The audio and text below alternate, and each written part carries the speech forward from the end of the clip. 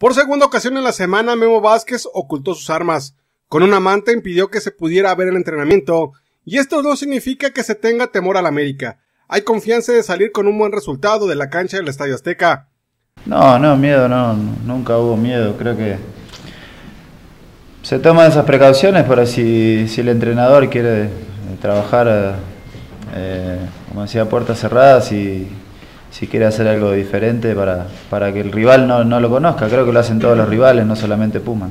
La confianza de Pumas radica no solo en el buen resultado que consiguieron en el Olímpico Universitario, también por el cierre de torneo, que fue mejor que lo hecho por las Águilas.